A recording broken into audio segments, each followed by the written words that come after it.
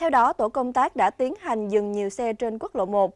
Qua test nhanh nước tiểu, lực lượng chức năng đã phát hiện tài xế Nguyễn Văn Hưng, 31 tuổi, quê Nghệ An, đang cầm lái chiếc xe khách dừng nằm mang biển số tỉnh Nghệ An dương tính với chất ma túy.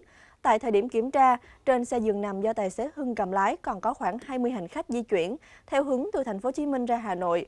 Ngoài ra, tài xế Hưng cũng không xuất trình được lệnh vận chuyển hành khách. Tài xế Hưng đã thừa nhận với tổ công tác có sử dụng chất ma túy đá và heroin. Tổ công tác đã tiến hành lập biên bản với hai lỗi vi phạm trên, đồng thời yêu cầu chủ xe khách bố trí xe khác tiếp tục đưa khách về và ra quyết định tạm giữ phương tiện trên. Một lãnh đạo trạm tuần tra kiểm soát giao thông Hàm Tân cho biết, tổ công tác sẽ tiếp tục thực hiện kiểm tra đột xuất những tài xế có dấu hiệu khả nghi.